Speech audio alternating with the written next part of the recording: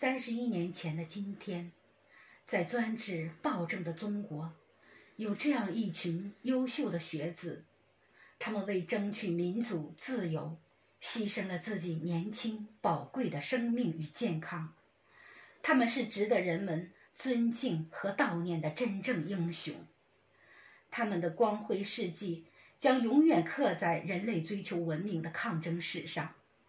他们的勇敢行为将激励全世界人民为正义而斗争到底。感恩你们，六四学子。